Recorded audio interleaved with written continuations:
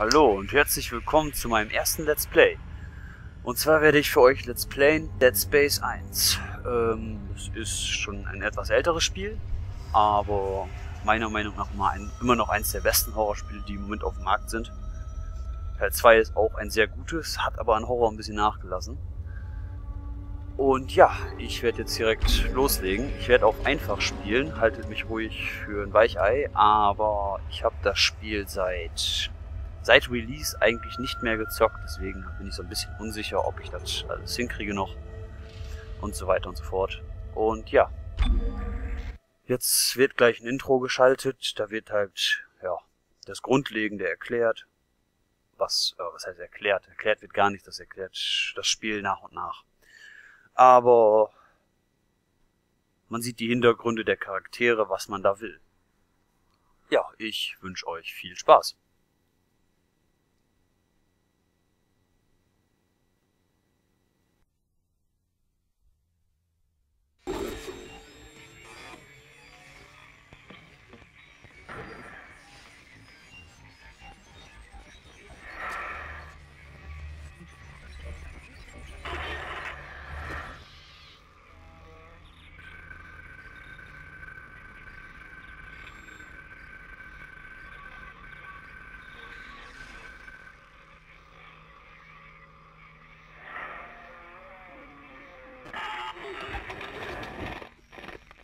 Isaac, ich bin's. Ich wünschte, ich könnte mit dir reden. Es tut mir alles so schrecklich leid. Ich wünschte, ich könnte mit irgendjemandem reden. Alles bricht zusammen. Es ist kaum zu glauben, was hier vor sich geht. Ist schon seltsam. So ein kleines Ding. Wie oft hast du dir das schon angesehen? Sie scheint dir wirklich zu fehlen. Keine Sorge, wir sind fast da und sobald wir an Bord sind, kannst du sicher nach ihr sehen. Hört sich an, als hättet ihr eine Menge nachzuholen. Okay, wir sind da. Orbit wird synchronisiert. Der ganze Ärger wegen dem Felsbrocken. Der Abbau von Rohstoffen im All ist ein lukratives Geschäft, Miss Daniels. Glaubt man den Experten, gibt es auf Aegis 7 massig Gold, Kobalt, Silizium, Osmium. Und wo ist sie jetzt? Ah, da. Wir haben Sichtkontakt. Das ist also die Ishimura. Beeindruckend. Die USG Ishimura. Das größte Abbauschiff seiner Klasse. Und scheinbar waren sie schon fleißig. Warum ist denn alles dunkel? Man sieht nicht ein einziges Licht. Corporal, bringen Sie uns weiter rein und rufen Sie sie. Passen Sie auf das Trümmerfeld auf. Wir sind hier, um Ihr Schiff zu reparieren, nicht unseres. USG Ishimura, hier spricht das Notfallteam der USG Callion in Antwort auf Ihren Notruf. Bitte kommen, Ishimura. Sie müssen das Signal verstärken wegen des Energieproblems. Ja, wissen wir. Signal verstärken. Noch mehr. Ich habe noch nie von einem kompletten Kommunikationsausfall auf einem der Dinger gehört. Bei tausend Leuten an Bord müsste doch irgendjemand sein Handy nehmen und...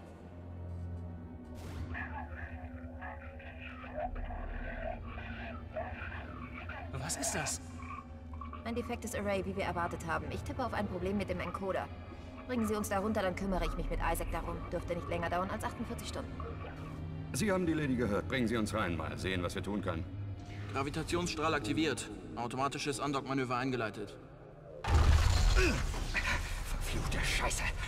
Sir, die Undock-Pro... Was ist los? Wir sind ab vom Kurs. Wir haben in die Hölle. Fahren Sie die Schilde hoch. Ihr Traktorstrahl ist defekt. Schalten Sie sofort auf manuell um.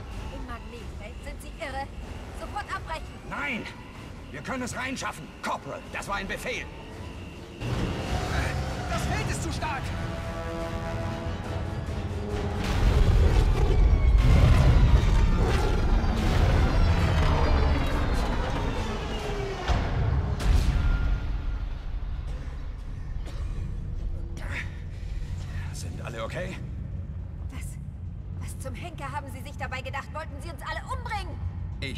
Ihren Arsch gerettet, Miss Daniels. Hätten wir das Manöver bei der Distanz abgebrochen, wären wir direkt in die Ishimura gekracht. Kommen Sie also wieder runter und dann an die Arbeit. Corporal, erstatten Sie Bericht. Der Portbooster reagiert nicht. Und wir haben den Autopiloten mitsamt Kommunikation verloren. Wird eine Weile dauern, das zu reparieren. Organisieren wir uns noch ein paar Helfer im Besatzungsraum. Halt still, Isaac. Ich synchronisiere gerade alle Rigs mit dem Schiff. Okay, fertig. Alle sind topfit. Ja, das war Also, die wir haben Einleitung. immer noch einen Job zu erledigen. Es geht los. Tut mir leid. Äh, ja. Das war auf jeden Fall die Einleitung ins Spiel und man sieht schon, man ist da, um das Schiff zu reparieren. Und es passiert direkt Mist. Das Schiff hat eine Notlandung hinter sich. Jetzt habe ich Befehlsgewalt. Ich rennen, bewegen Sie sich schneller. Rennen tun wir mit Schiff, genau. So. Alles klar. Ähm, ja. Hier ist alles relativ Arsch. Sie haben nicht die Verbindung zum Portbooster verloren. Sie haben den Ähm, ja, was ich noch sagen wollte ist, das Video wird hochgeladen auf Kanal von, auf dem Kanal von, von, von ähm, der Spielepirat. Ich werde ab jetzt, wenn es gut läuft, für ihn Let's Playen. Aber ich hoffe, ihr habt Spaß mit dem Let's Play. Ich werde mich auf jeden Fall anstrengen und ich bin noch relativ nervös und sammle gerade irgendwelchen Müll. Ich schätze, hier ist nirgendwo mehr Saft. Isaac, gehen Sie darüber und hacken Sie die Mach Türsteuerung. ich, mach ich, mach ich. Ja, muss mich auch lassen. So. Ja, so. So, ähm. Ja, was kann ich noch von Spiel erzählen? Es ist so. Wie gesagt, wir sind da, um das Schiff zu reparieren und irgendwas stimmt hier nicht. Und im Endeffekt soll man nach und nach rausfinden, was nicht stimmt. Und ich bin der Techniker übrigens. Ich darf hier, Sieht aus, als wären Sie ziemlich in Eile gewesen. ich bin der Held des Spiels, bin der Techniker, aber hey, völlig normal. Ja, sollte, ist aber nicht. Hier ist keine Menschenseele, ich empfange keinerlei Signale. Die Sicherheitskonsole ist noch aktiv. Isaac, loggen Sie sich ein und sehen Sie nach, was Sie finden kann. Kendra, Sie bringen den Aufzug wieder zum Laufen. Geht nicht. Wir haben keinen Saft. Dann leiten Sie die verdammte Energie um. Hören Sie, wenn wir alle zusammenarbeiten, kommen wir schneller hinter diese Sache. Kommen Sie, Isaac. Wir bringen das Computerdisplay online. Jo, mach ich, mach ich. Ja. Weiß ich. Das ist übrigens kein Blind bis zum zweiten Kapitel. Am zweiten Kapitel weiß ich nicht mehr, Das sieht nicht gut aus. wie ich Sie weiterkomme. Also, bis dahin habe ich gestern schon mal Das gezockt gehabt und die Aufnahme leider. Die Luft scheint wieder zu zirkulieren, wäre ja mal ein Anfang. versaut. Was zum Teufel war das denn? Die automatische Quarantäne muss ausgelöst worden sein, als das Filtersystem wieder angesprungen ist. Also ganz locker bleiben. Was war das? Haben Sie das gehört? Ich bin mir nicht sicher. Was zum Teufel? Scheiße, irgendwas ist hier mit uns im Raum. Machen Sie das Ding alle! Kendra, Energie! Kendra! Komm schon. Ja, Jo. Dann hauen wir mal schnell ab hier.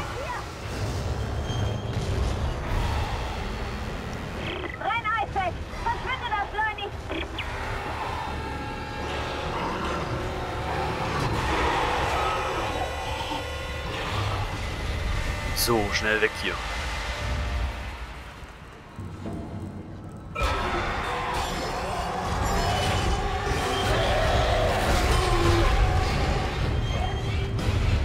Sah aus, als hätte es wehgetan.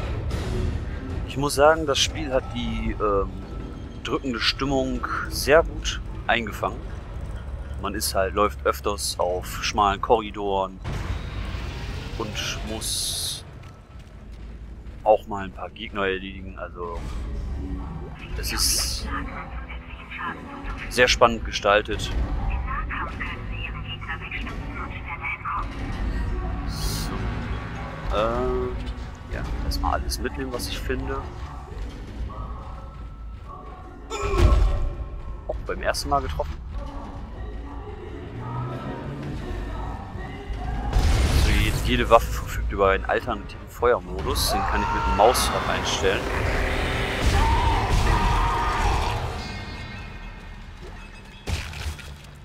Und ja, mehr fällt mir jetzt gerade als Spielerklärung nicht ein. Ich werde erstmal alles erkunden, was ich so finde.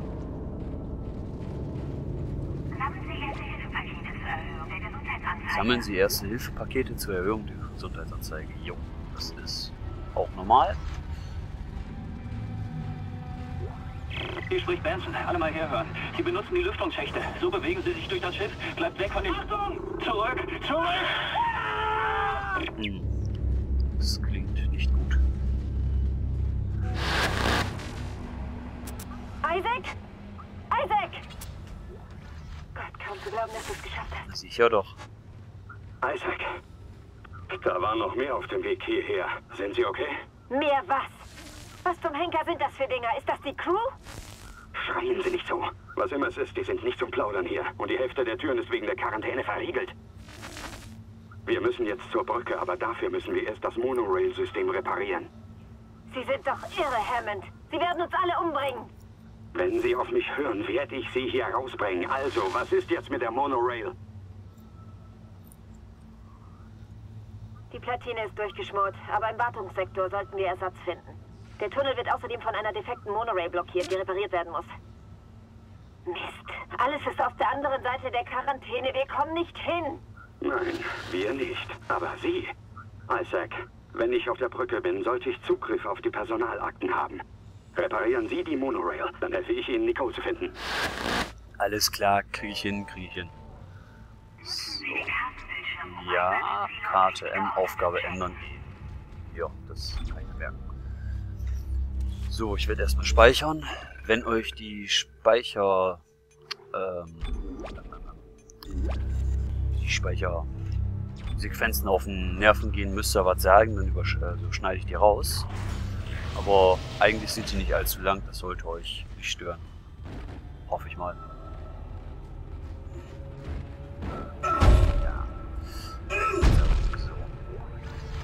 Zielen üben wir noch.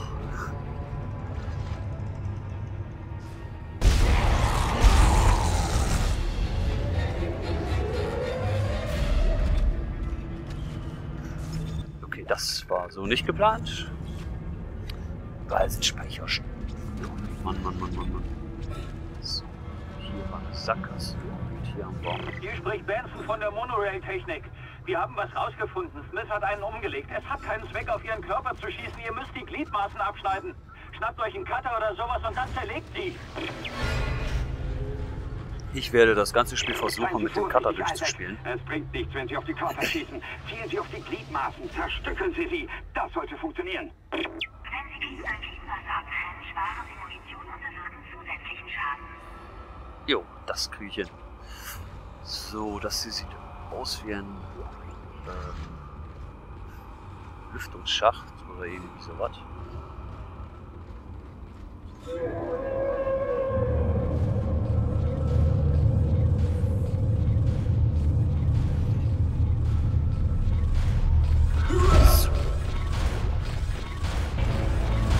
das Stasenmodul. Damit kann ich Gegner und Türen verlangsamen, damit ich durchkomme. Zeigt natürlich gleich ein Beispiel. Versuch mal das Stasemodul, das du gerade aufgehoben hast. Ist klar. Wieder ein Speicherstand.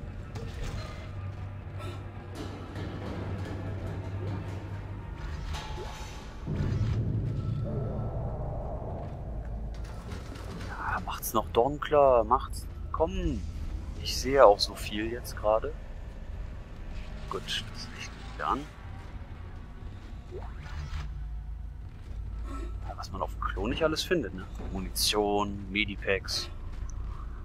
Völlig normal. Ah, Geld kriegt man auch noch.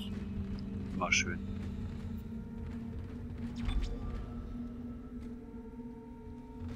Da haben wir auch noch was liegen. Och. Alter, Treffen mit dem Nahkampf muss ich aber echt noch üben. Das ist ja mal peinlich, peinlich, peinlich, was ich hier gerade mache. So. Dein Stasemodul sollte dir bei dem Armmechanismus helfen. Jo. Regeln wir. Kriegen wir alles hin.